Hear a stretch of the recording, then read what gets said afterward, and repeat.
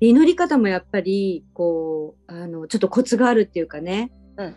うん、祈りだから思いだけじゃなくて例えば感覚がすごく上手に使える人っていうのは、うんその雨が降った方がいいって思ってる時に雨を降らしてくださいっていう時は、その雨が降った状態の感覚、肌にその雨が落ちてきてるとか、うん。雨がその降ってる時の音をうん。想像したりとかして、うん。とにかく使えるものを全部使ったらいいんですよ。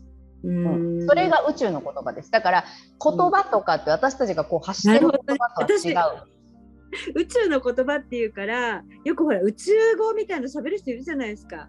ペロペロペロとかね。そうそうそうラ ララララとかって。そうそうそうそうああいうの言えってことなのかなと思ったの。ああいうのもどんどん増えてきます。そういうのも増えてきます。あのライトラングイッチって言って、うんうんうんあのやっぱりその宗派をこう受け取ってチューニングしてそれを出していくっていう人たちがいるし、で私もそういう人たちとつながってますけど、うんあれもうん。これから大事なのは宗派とそのインテンションってその、うん、込める思いとそれからはい。光、あと音ですよね。サウンド。光。うん。だからこういうものがどんどん私たちの一般的な生きてる中社会の中でうん。どんどん重要な意味を成し遂げていくっていうかこれから。うん。だからライトラングチを喋ってる人ってどんどん増えてるしで、うん増えてますよね。増えてます。で私もこの間その女の人に実際チューニングしてもらってそれでまあなんかその時はあ気持ちよかったな。それからその人がこう喋ってる内容がこう自分にすごくすんなり入ってきたんであすごい良かったなぐらいだったんですよ。そしたらその後あの誕生日がね2月の14日ついこの間あったんですけど、うんでその日に1人だったからピラミッドの中で瞑想したんですね。で、はいあの家のピラミッドなんですけど 家にある。でそのピラミッドの中で瞑想したらなんかこう音が鼻から出てきて鼻っていうかハミングって言ってうーんみたいな。でうんうんうん音だけで言うと3つの音なんですけど4つの音になりな4つでなんかこう音楽になってる。でその音が出てきて、その音をずっと30分ぐらい繰り返しこうう歌うっていうかなんて鼻歌みたいな。うんうんうんそしたら涙がバーって出てきてでそのヒーリングの涙なんですけどそれが出てきてで誕生日になんかこう宇宙からギフトをいただけてすごく嬉しかったなと。で今まではそういう音で自分をチューニングするとかってあんまりなかったので、ううん。ん、なんかやっぱりうん。これからどんどんそのサウンドヒーリングって今ももうありますけど周波サウンド光でそういうものがどんどんどんどんこう世の中に出ていくんで、うん、だから、うん。そのお音ですよね。で音自分の音っていうのがみんな DNA の中にあるんですね。なのでうん。その一人一人が持ってる音を奏でるためにこの世に今存在してる。ほうっていうことをみんな忘れずにいてほしいなってすごく思うんですけどうんやっぱそういうことって教わ教わらないから教わらないね。でもでも自分しか持ってないその音周波ですよねそういうものがあるのでうん必要とされているから今ここの場所にいる。で必要とされてるからそこの場所に移動させられてそこでその土地をチューニングしてたりとかそこの土地で出会うべき人に出会ってる。うん。だから場所が変わるたびにあ私はここに今落とされたじゃないけどなんていうんですかね。置かれた？うん。置かれて今ここのエネルギーをちゃんと助けてるんだな。うん。なるほどななるほど。えー、カイヤさんがね日本離れてそちらにいるのも結局そういうことですもんね。そうなんです。今はね。でも日本に帰ろうかなって計画はしてるんですけどでも、うん。今年の5月のお終わりにちょっと2週間ぐらい里帰りをしようかなと思ってまして。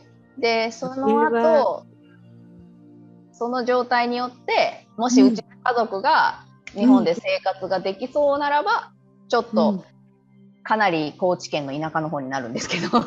ねえ。でもね今ほら日本は過渡期というか、ね、いろんな意味でこう立て直さなきゃいけない時期だから、ね、パワフルな人戻ってきてもらいたいですよ。日本人の人すごい活躍してるんですよ実はうん海外で。で、ねそうですよね今ね。オーストラリアで私知り合いたくさんいるんですけど日本人の。うんそして面白いことがあの朝のエネルギーを取り戻してる人たちがたくさんいると。おあの朝って言ったらなんか悪い方向にみんな ね、うんこう考えちゃったりする人いるんですけど、うんそうじゃなくてちゃんと朝摘みとか朝の、その、まあ、例えば服であり私もずっと服はあの朝の服着てるんですけど、へえ。とかあのエネルギーね CBD オイルでありとか、うん。例えばそういうものを扱ってる人たちがケアンズにもいるしここの近くにもいるし、でうんもうちょっと離れたところにもいるしで、うんもっとはシドニーに近い離れた場所に1人いてだからなんか日本人なんですよみんな。でも朝とすっごいつながっててで朝のエネルギーをオーストラリアでみんなに伝えてるみたいな。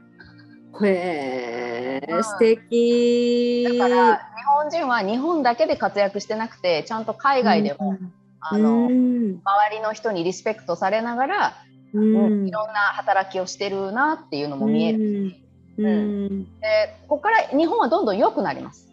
良くなるんですけど、あのやっぱり今のエネルギーの向け方次第なんですよね、うん、だからうんそのエネルギーの向け方をどういうふうにみんなが持っていくかで集合意識なんで全ては。だから個人の意識も入ってるんですけどそれがまあ集合体となってその場所にいろんなことを引き起こしていったりするので、うんでもみんながちょっとずつ気づいてってあ日本人のこの素晴らしいエネルギーをもう一回ね取り戻そう。大和だ魂じゃないですけど取り戻そうって言って活動しだしたら、まあ、ここ23年踏ん張ればうん。なんとか。ね。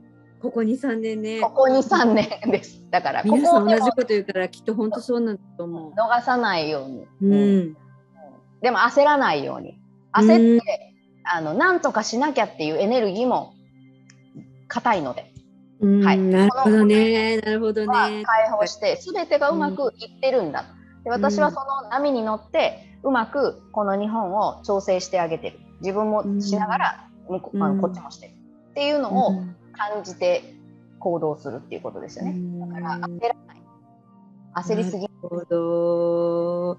これさ、今日あのねあ、気づけばもう結構ないろいろお話しいただいてる。いや、うん。かやさ泊まりに。かやさんにね、あのこう私も今日ほらたまたまあの相談させてもらって。なるほどっていう解決策を教えていただきましたけどあの日本から見てもらうってこともまだ可能なんですか？と見てますね。あのオンラインで、うん、オンラインで見るしあとそのコースとかもちょっと作ったりしてあの、えー。やってたりするけどまあでも、えまあそんななんか毎月とかできてないんですけどうんうんでそうを受けて自分の自身を取り戻したりとかっていうのを、うんうん。まあオンうん。えー講座をして教えたりもしてるし、えー、じゃあ1年前にはなかったあの新しいこう提案の仕方みたいなのが追加になってるわけですね。そうですね。で、えー。男性の方も増えてて面白いなと思って日本人の。えー、本当。おかげで、はい、だから男性の方で、まあ、例えば動画をこうやって見ましたみたいな方とかくださって、なんかでも面白い方がやっぱり多いですね。もうなんかえ地球人じゃないよねっていう。うんあなたはあアシードですよねみたいな感じのー方々があやっぱりあの気づきのポイントみたいなところに今来てるんで、うん、であのヒーリングしていくのもやっぱりあのヒーラーの人をするっていうのがすごく増えてて今。でちょうど去年の11月終わりぐらいからもうみんな来る人来る人ヒーラーだったりするんですよ。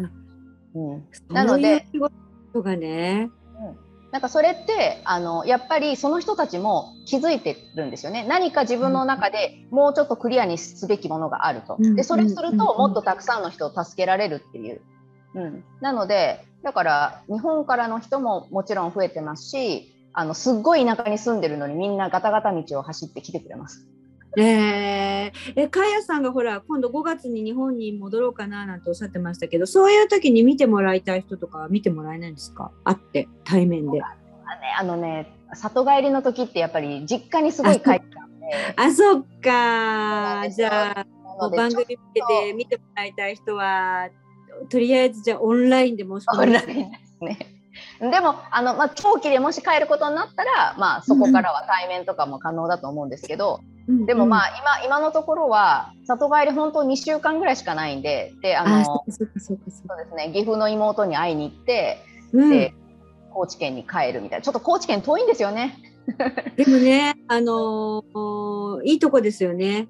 いいとこです。でちょうどレイラインの上に自分のそのあのひばあちゃんが住んでた家があってでその、うんそこの場所のすぐ上に竜の形をした湖みたいなところがあるんですよへえ、すごい。ですごいすごいパワフルな場所があって、でうんあの地図で見たらちょうどオーストラリアのエアーズロックと全く同じぐらいの位置にそのひばあちゃんの家がある。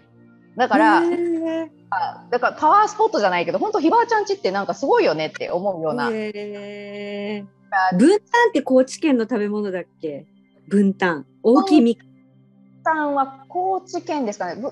高知県生姜とかトねあちらこありますよね。すっごい大きい黄色い。流行ってますね。流行ってるっていうか多いですね。そうそうそうそう多いの多いの。ゆずゆず。そうそうそうそう美味しいのねとっても。そうなんですよ。だから食べ物も美味しいし、あとあのちょっと知り合いになった中島、えーシネマさんっていう方がいいらっしゃって、ペコさんっていう方であのあマクロビをやられる方なんですけど、でオーストラリアにに来てたりするような方で。でその方の娘さんがなんか高知に移住したってでそれですぐ近くに会いに行く予定にもなってて、うんうんうんうんうんもしもしあのうちの家族が大丈夫であれば5月の21日あたりに福島に行くかもしれないんですよ。だから会いに行きたいなと思ってるんですけど成田着でその日はもう夜なんで寝ちゃって、はいはいそれがはいはいですよね。でに5月の21日に1日だけもしかしたら使えるかもしれないって日があってその日にうんあの私の知り合いのユージがいますよねあの会津に。でああのああ蜂蜜の方。そうです。いはいはいはいありがとうございます蜂蜜。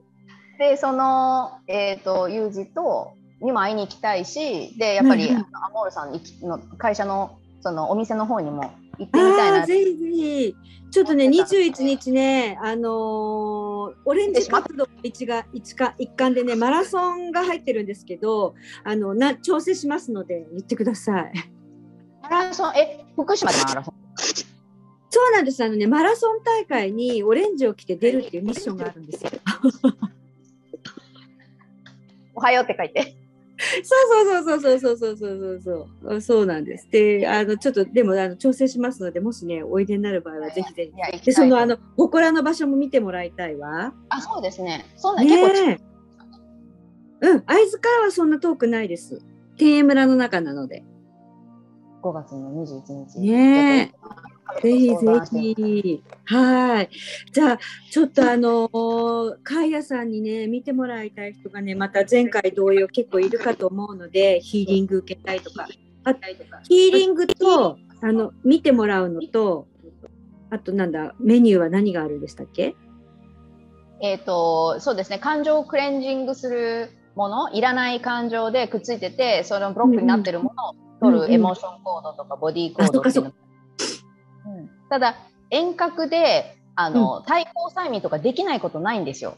でもあの例えば QHHT っていうやつはあのその創創設者創立者が言ったらあの遠隔ではやらないでくださいっていうことになってるんであネットが止まってしまったりするかもしれない。なるほど、なるほど、なるほど。だから例えば対抗催眠はちょっとやってないですけどでも、うんあのそうですねエネルギーのクレンジングしたりとか、まあ、そのスピリチュアルカウンセリングとしてそのいろんなコーチングも入ってるのでそれであののポイントになるようなもの。もあります。うん。だかその人に合わせてみたいな感じなんでで相談していただけたら、まあ、こんな感じですよだから、ま今回あんまりなんか内容話してないような気がするんだけど大丈夫ですか？うん、大丈夫です。あの宇宙とつながるっていうのはとてもよくわかりました。うんあの体感なんですだから感覚うん。はいはいはいはい。言葉で表現できない私たちに目に見えないけど存在するものとつながるうん。ことをするには、その感覚なんですね。うんうんうん。だからその感覚とつながる、でそれをすることによって、宇宙の言葉を喋ってるんですうんうんうんうんうんうんうん。だから通じるんです向こうには。私たちはうんうんうんこうこうやって喋ってないから何何やってんのっていう感じなんですけどうん、でもうん。うん自分がやったことがもう直接向こうに届届いていればいいので。うんうんうんうんうんでもアタッチメントをつけない。執着をしない。これもすっごい大切です、うん。はいはいはい。執着をしない、はいはいはい。はい。はいね、たくさんの人にねちょっと今ほらこういう時だからねあの日本はね電気代が上がったりねすごいですよ電気代の値上げあの卵が値上がったりね日常の生活はね結構皆さんねあの大変になってる方多いんじゃないですかね日本は。うん、いや、でオーストラリアの方が多分すごいですよ。そうですよね。すなんかちょっと噂によるとキャベツ2000円するなんて話も聞きましたよ。海外では。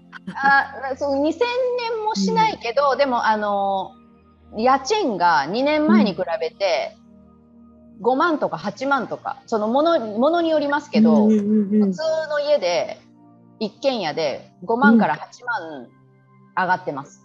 2年前同じ状態のものが。あだだから牛乳とかも2ドル95だったのが今3ドル75です。ーあー。ということはに世界的に大変なんだね。ね全部上げてるんですよね。でうん上げて、みんなにここまでここまでやっても気づきませんかっていうのを見せてくれてるんですよ。うーん。闇は闇じゃないんでうん闇うんうん闇って私たちが呼んでるものっていうのはあのそちら側のできるべき仕事をやってくれてる。うんうんうんうんうん。まあだから徹底的にやってることはすごくやっぱり私たちから見るとちょっと見にくかったりとかうん。ひどいよねって思うようなことがあるんですけど、うん。でもそのことによっての気づきっていう大きさがやっぱり大きいので、うん。だからここまでですか？ここまででも大丈夫ですか？ってこの家賃は上がり食品も食費も上がりねでも給料は上がらない。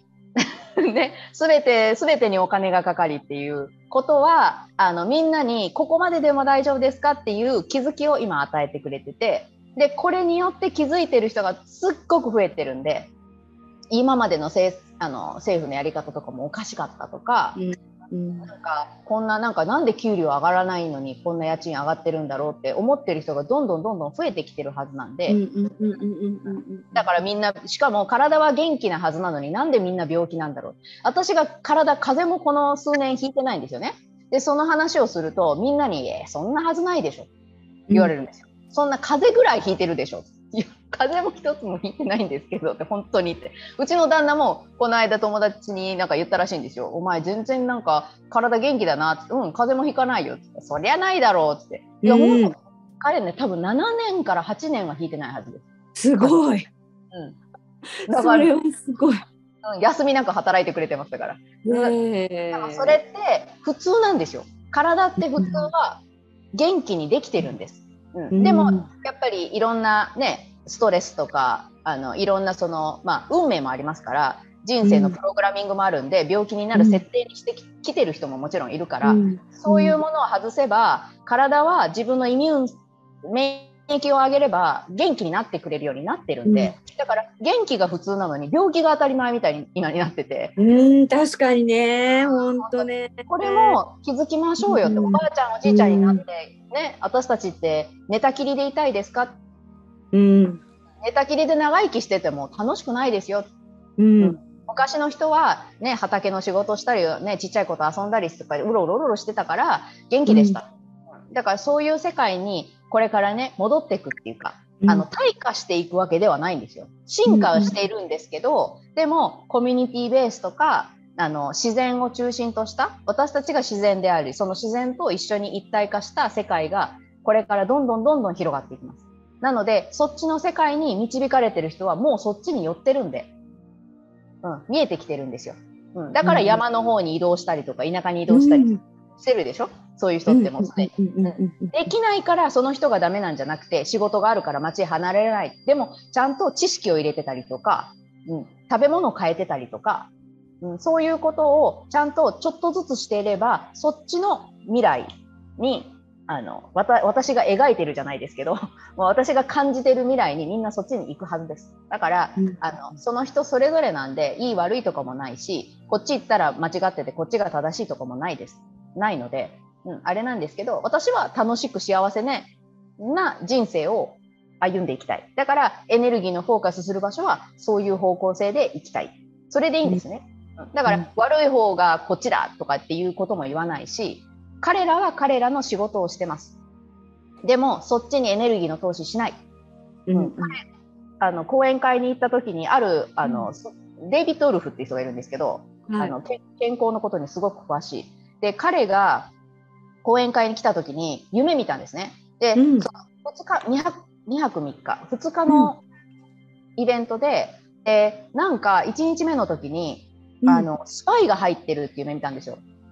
でスパイが入,、入ってきててでそのスパイがなんか悪いことを言うけど、そんなに大きくなんかこう揺るがされることもなくその人を見つけることができてなんかうまくいったみたいな感じの夢見たんで、うん、その主催者の人がいて私知ってたんでその人に、こんな夢見たんだよ。だから気をつけた方がいいよって言って、うん、次の日本当にスパイがいたらしいんですよ中に。でデイビッド・ウルフっていう人人がすごくインフルエンサーでこの,、あの世界の中で英語で話せる国の健康にすごく意識の高い人とかみんな知ってるんですよ。で、その人の情報を得てげあのいろんな食べ物食べたりとかスーパーフードの話してるんで。でだから影響力が強強いからあの、結構叩かれたりしてる人なんですよね。うん。だからあスパイがいてでそのスパイがジャーナリストだったらしいんですよね。うん、でわなんかいろんな記事を書こうとしててでも見つかって差し押さえられたみたいな。だからちょうどあのそのメッセージを送ってたからスパイは誰だろうみたいな感じで目を張ってたらしいんですね。警官の人が、うん。はいはい、警官っていうかなセキュリティの人。だから見つけることができたっていう話だったんですよ、うん、だから夢って夢じゃないんで。だから何かそういうあの人に関係するような夢を見たらそれをノートに書いて伝えてあげてもいいし、うん夢って夢じゃないなるほど、ね、夢じゃないですよ。夢じゃないです。なるほどね。あっちが本当かもしれないしね。ああっちも本当です、うん、あっちもこっちも本当です。だから、あのあっちもこっちも本当だけど今いる方が自分が集中する方なんで大事にしておく方なんで、そっちに集中すればいいんです。だからあっちに戻りたいとか、じゃなくていいんですよ。私もあの臨死体験したことあるから向こうに帰った時幸せな感覚とかもわ覚えてるし、うん、あでもそのそこをそこをずっと考えちゃうともうこっちにいたくないとか、なるじゃないですか。でもこっちに来たかったから魂がここを選んできてるんですよね、うん、だからまずはこっちに集中する。でも夢で見たこととか、うん、夢で行く場所っていうのは必ず意味があるので、うん、その意味に対して自分が目を向けてあげると何かそこからヒントを得られたりとかももちろん。なるほどね。長くなっちゃいましたけどすいません。いやなんかさ本当にカヤさん1年前よりもさらにこう的確さが増してて。見えるつかあそうそのあのいあの私が言った場所の竜がいるっていうところもそうだしあのすごくねドキッとすることいっぱいありました。うん、私はヘビヘビに見えましたけどね。うんうんうんうんうんうんなんかね多分そういうねうねうねっとしたものが私実はそこであのそういう生物が私の体をムーって巻いてったことあるんですよ。うん、あのだから多分そういう本当にねあの蛇か竜かわかんないですけどそういう長いものだと思う。うん、長いものが間違いない。でぜひね5月にねかやさん来た時にねそこご案内できたらね。なんかね生中継でもしたいですけどね。なんかマラソン大会じゃあ1日じゃないんですね。21日にマラソン大会があってで走る人がね党員さんが走るんで私たちに応援部隊としてねちょっと出なきゃいけないんですよね。ただまあなんかその時間帯が分かってればねちょっとなんとかしたいなと思うんですけど。はい。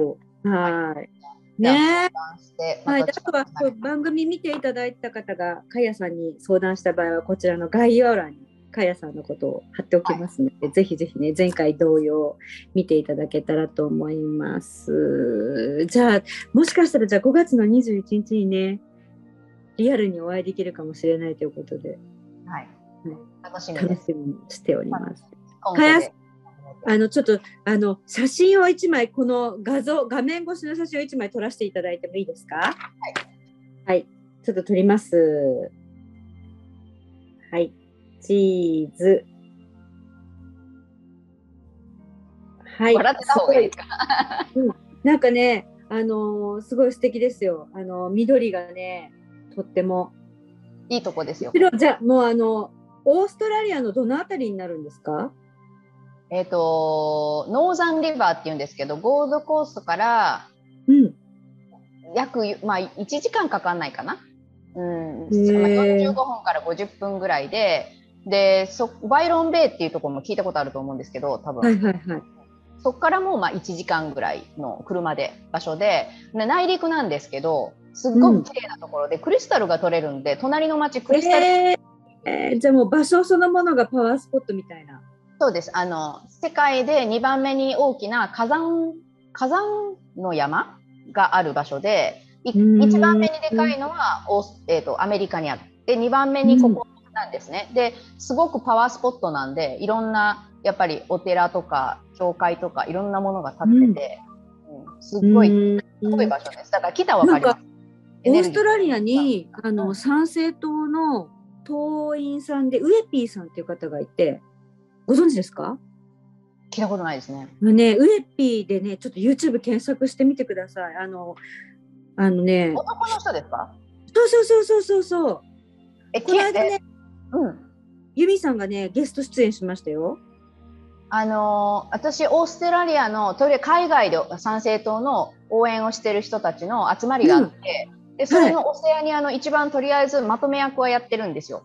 はいはいはいはいでそこでとりあえずオセアニアの、えー、と参政党応援人応援のラインみたいなのを作ってて、はい。でとりあえずそこにまあなんかそこは連絡網っていうかあのイベントこんなのあるよとかいうのを、うんあのうん流してたりするんですけどでもそんなはいウェピーって人いないんですよね。だから。嘘。なんかつながったつながったらなんわかかりたいですね。ね、えっと。あのね、こうやってね、あの、フェイえっ、と、YouTube で、えっ、と、ウエピーオーストラリアって検索すると出てきます、彼が。あと、インスタ、あの、なんだっけ、あの、私もユミさんにご紹介いただいて、ちょっとやり取りしたことがあるんですけど、あの、福島の佐々木彩に聞いたか、あの、って書いてもらえば、あの、わかると思うので、ぜひぜひ、なんか一生懸命彼あの、あの活動してあの参政党のね党員さんとコラボであの、YouTube 番組やったりあの、立候補する人をゲストで招いてやったりあとはあの何？いろんな切り口でね党の応援してくださってるんでコラボいいんじゃないですか？あでも聞いたことなかった。面白いですね。えーそう。結構最近流行ってますよ彼支部支部って自分で言ってちょっうん。となんか、あのバッシング受けてた人はいるんですけどその人じゃないですよね多分。そうのあのねうん神谷さんもフォローしてる。人ですか？じゃあ大丈夫。ね。そうそうそうそう。神谷さんもフォローしてツイッターフォローしてるしあので若いけどお利口な方です。なんか海外でその、うん。積極的じゃないですけどそのやっぱ党の活動とかするとあの、うんうん。のかないろんなことを言われたりちょっとなんかこう、うん、するのでだからそのやり方を考えなくちゃいけないっていうことをすごく言われる。賛成党って言わずにあの、ジャパップっていう名前私がつけたんですけどジャップアップ、ジャパンのアップですよねつまり、日本っていうグループ作作ってでそこでは賛成党って言ってないんですけど月に1回、あのいろんなテーマをもとに寺小屋の勉強会をするっていう。で3月は私がスピリチュアルの話をするんですけど。はいやあの海外で活動されてる方とかあとまあ日本にいる方が日本の大和魂をもう一回戻していくための知識えをこう入れていくみたいな。うん。だからーその参政党がねですねとかいうことを言わないでくださいと。で じゃなくなるほどあのみんな日本が好きな人が集まってますと。でで実はつながってて話とかなんか見てたらあうん。なんかこういう党があったんだみたいな。うーん。つながってるじゃんみたいな感じで気づいていってもらえたらいいなと思ってて。ゴールドコーストに住んでるみたい。えー、近いじゃないですかじゃあ。うん、あのツイッターに、えっとね、オーストラリア YouTuber チャンネルって書いてあって、ウエピー、ウエピーで検索してみてください。やっぱり私ツイッターとかないんですけど、えっ、と、あインスタありましたよね。インスタ？フェイスブック、フェイスブック、あ、フェイスブックで YouTube、YouTube。へえ、そうなんだ。YouTube でウエピーオーストラリアって検索すると出てきますね。うん。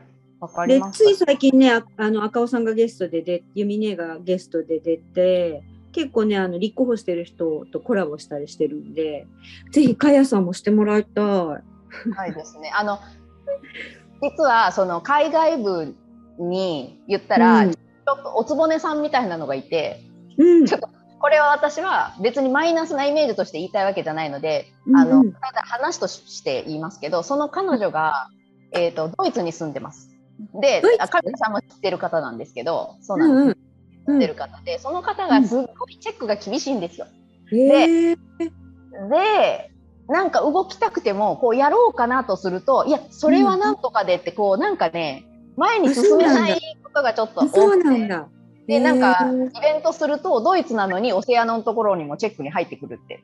だからだからなんかあ動きが取れないちょっとっていう。なんか私たちは楽しくやりたいと。であの迷惑かけないようにちゃんとその党がなんか迷惑かかるような日本のねならない内容でならなんかちょっと活動してねちょっとでも広げていったらいいんじゃないかと思うんですけど、なんか多分その党員って名乗んないでウウエピーと一緒にコラボで番組やるとかだったらねそうですね。いいんじゃないですか？うん、あのー私から聞いたって言ってちょっと連あの連絡福島の滝あやって言えばわかると思うので、はい。そしたらね近くだから会ってできますよね。会えます会えます。だってすぐ、ね。もうだってうちの旦那がたまにゴールドコースト仕事に行くんでね乗えせ乗せてもらってちょっとあのいいかもいいかもいいかもあのーすごいうんあのーいいと思うぜひぜひ。ありがとうございます。すごい。いえいえとんでもないです連絡してみてください。はい、はいわかりました。ぜひぜひじゃあまたあの5月を楽しみに。楽しみにしてます。あと2ヶ月。ねはい。はい、それまでに私たちも進展があるようにですね、例のところ、はい、矢作さんかな？誰でしょうね。ちょっと前向きにこう目をキラキラさせながら、それは誰か見てやっていきたいと思います。はい、ありがとうございました。お世話になりました。またお願いします。はい。失礼します。す。